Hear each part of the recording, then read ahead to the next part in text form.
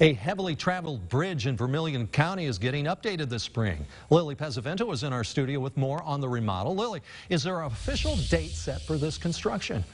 Yes, Mike. Crews will be out on April 1st to begin work on the Henry Dana Washburn Memorial Bridge. The Clinton 163 Bridge is among INDOT's many infrastructure projects around Indiana as a part of Governor Eric Holcomb's Next Level program. We have the bridge just outside of Clinton that's going to be uh, restricted down to one lane, while our uh, the bridge over the Wabash River is going to the deck will be replaced and the bridge will be uh, widened through there.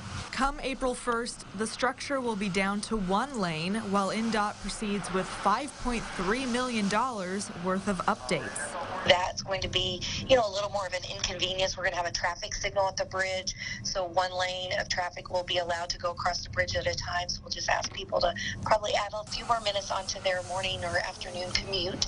The Clinton Bridge is very heavily trafficked and a main source of access to many important places in Clinton. And the mayor says that this remodel will mean everything to citizens. That's our main line is that bridge. Uh, we have the hospital here in Clinton, uh, and a lot of people from Parke County. Uh, they come across the bridge to go to work over in Illinois. Weather permitting, the repairs should be finished by November. And Mayor Guilfoyle says the repairs to this heavily used bridge are worth it.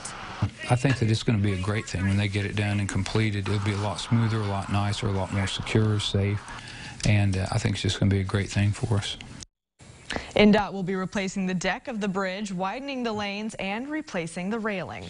All right, September is the Little Italy Festival. Yes, it is. Yeah, and you, are Italian. You Obviously. look forward to that. Oh, it, will it, Yeah. will it still be down to one lane come September? It is still going to be down to one lane this September. When I spoke with mm. Mayor Guilfoyle, he said he had just gotten out of a meeting with some other of the chairs mm of the Little Italy Festival. He said that they're working on a way to make sure everybody's safe and the travel and the traffic moves as quickly as possible. And the end result will be much better, right? Yes, and there will be pasta at the end. Yeah. Okay. Thank you, Will. Thank you.